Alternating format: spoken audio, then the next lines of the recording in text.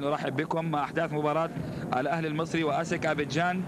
المباراة الهامة جدا في بطولة إفريقيا أبطال الدوري أو دوري أبطال إفريقيا. هذه البطولة التي تنقل حصريا على فرصة فرصة مرة أخرى وهذا اللاعب رقم 13 يحاول كرة محمد جودة وتسقط كرة حارس المرمى. والمتابعة والمتابعة والمتابعة. لكن كانت هناك تغطية. هشام جيرات حكم المباراة طبعا لم يشر لأي خطأ. ترتد الكرة تصل على اليسار وصافرة من الحكم. صافرة من الحكم محاولة من جهة اليسار. محاولة للفريق أسك من جهة اليسار. تزيد على المرمى مباشرة قوية وعصام الحضري. طبعا كرة لا يمكن الاستهانة بها وطبعا فضل فضل عصام الحضري أن يسد يحولها إلى خارج الملعب. واللاعب الأهلاوي على الأرض محمد جودة سلامات. سلامات لمحمد جودة.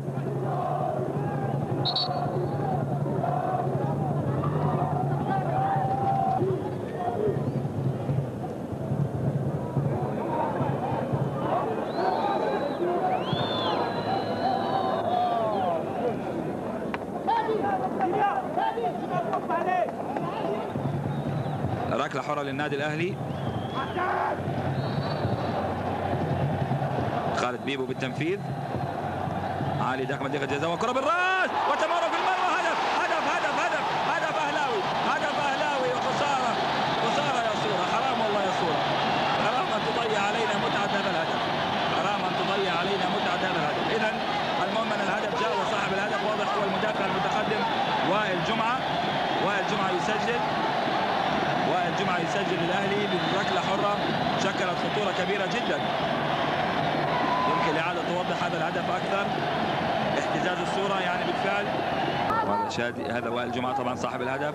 يرسل كرة طويلة. يخطف على إبراهيم على إبراهيم! يا علاء حرام عليك. معلش تستحق هارد لك خطف الكرة بشكل جميل على إبراهيم. آه ليس علاء ليس علاء إنما محمد جودة الذي يلعب على جهة وهو أيضا دائما يلعب على الهادي. ترتد الكرة. ترتد من جديد وفرصة فرصة كرة مرتدة عند اللاعب إبراهيم ديكي. إبراهيم يتقدم. إبراهيم إبراهيم ديكي يسدد كرة الله كرة خطيرة. والله فريق أسك حقيقة فريق يخوف. لامسها الحضري. لامسها الحضري وكرة تتحول إلى ركنية.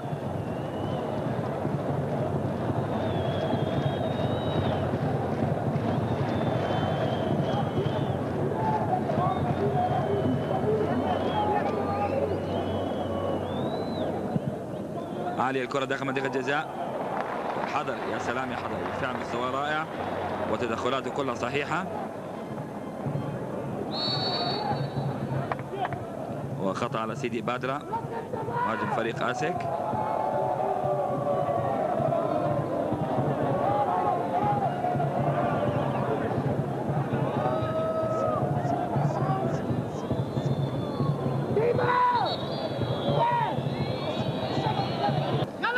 الليبرو اللاعب الحر في الخلف. طبعا في بداياته لم يكن يلعب بهذا المركز. يعني مثل اللاعبين الكبار تذكرون مثلا لوثر ماتيوس النجم الألماني الكبير الذي طبعا مؤخرا أصبح مدربا لنادي رابيد فيينا النمساوي. لوثر ماتيوس بدأ كلاعب وسط ثم تحول في السنوات الأخيرة إلى لاعب ليبرو. هذه كره عرضية. السنوات الأخيرة قبل ان يعتزل. وبكل تاكيد مانويل خوزيه يريد أن يستثمر هذه خشبة بهذا المركز هذا وهذه خشبة القائد الأهلاوي. ركنية اذا ركنية للنادي الأهلي. ولا زلنا في الوقت المضاف. نلعب في الدقيقة الرابعة منه. وفرصه للأهلي ليحسم النتيجة في الشوط الأول بهدف ثاني. طبعا الأهلي بعد إذا فرغ وفاز في هذه المباراة يندو عنده أيضا مباراته مع بيترو اتلتيكو وفرصة فرصة للفريق العاجي. فرصة لفريق اسك عرضية. هذا زوكو رقم 28 وجد نفسه طبعا في وضع ممتاز لكن أيضا يلعبها اين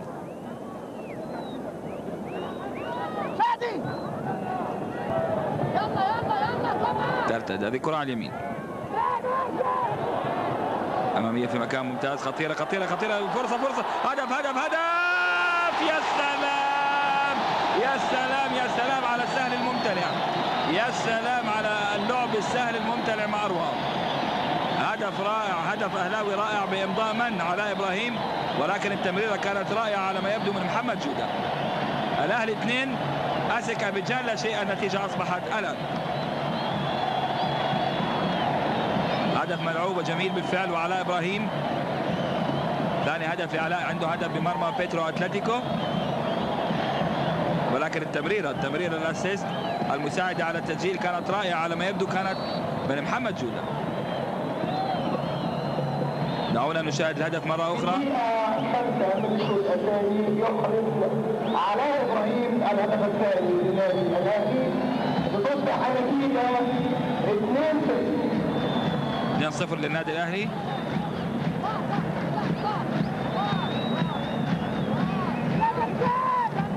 والنتيجة على وجه مايكل دي كاسل الذي بكل تأكيد يمكن كان يتوقع المهمة تكون أسهل لكن فريقه عموما يؤدي مباراة طيبة بغض النظر عن النتيجة. والأهلي أيضا يؤدي مباراة طيبة نحن نشاهد بالفعل نشاهد واحدة من المباريات الكبيرة في بطولة إفريقيا هذا العام.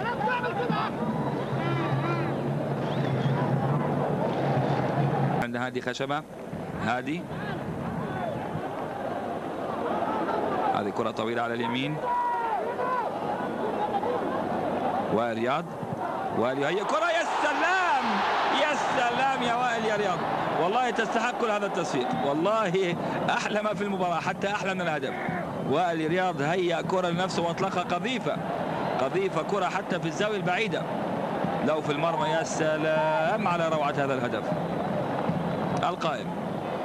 القائم حرم وائل رياض وحرمنا نحن أيضا من متعة مشاهدة هدف ولكن ليست ليس حرمان كان في دقيقة 15 من الشوط الثاني بنزول منافع رقم 9 كوني يخلص الكرة كوني يخلص الكرة كوني. يدخل منطقة جزاء ويحاول كرة عرضية تمر! الله! وترتأت الكرة لم تخرج. كرة لم تخرج ويسقط اللاعب. وركلة جزاء يا عصام الحضري. يا عصام الحضري. خطأ لم يكن مبرر. هشام قيراط يحتسب ركلة جزاء لفريق أزك أبيجان. أعتقد طبعا وحتى إنذار لعصام الحضري. حتى إنذار لعصام الحضري أعتقد بالفعل. عصام الحضري كان المفروض يكون أكثر ذكاء في هذه الكرة. كرة ارتدت من العارضة عصام الحضري اندفع. وطبعا يمكن كان تركيزه على أن يدفع اللاعب العاجي. ويمكن طبعا أنا أشاهد بالفعل الحكم اتخذ قرار صحيح هشام قيرة لكن نتمنى على عصام الحضري أن يعوض الخطأ الذي ارتكبه ويتصدى لركلة الجزاء حتى يبقي النتيجة كما هي.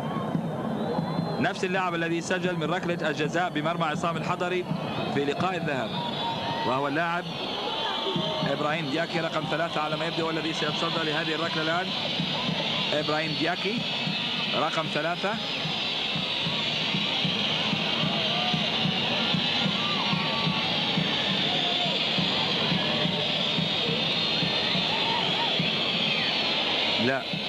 نعم هو رقم اثنين.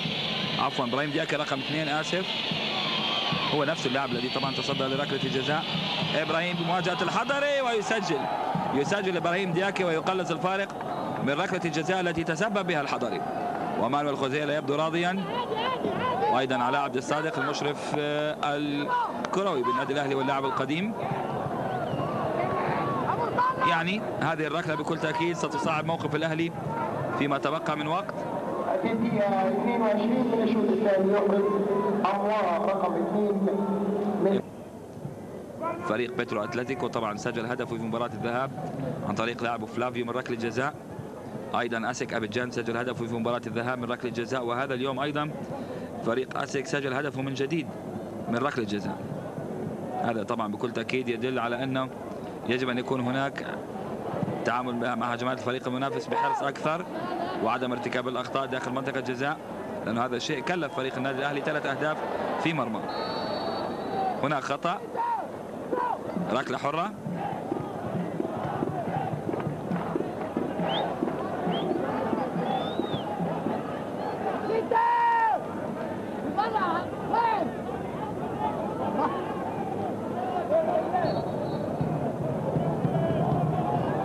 عالية داخل منطقة الجزاء وعصام الحضري عالية عالية عالية على مرمى الحضري. لكن الكرة ركنية لمسها لاعب أهلاوي.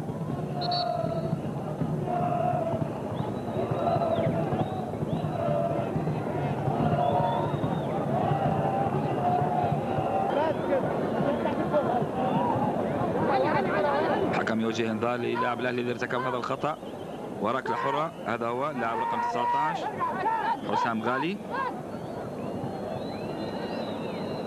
طبعا فاول تكتيكي.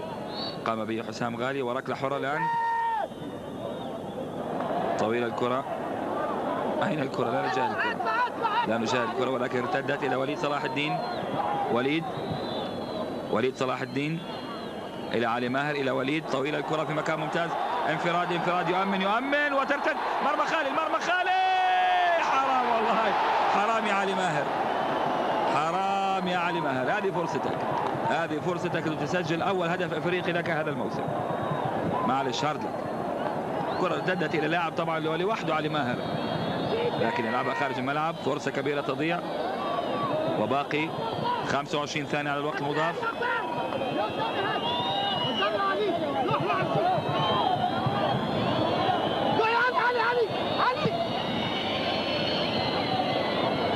هذه كرة طويلة.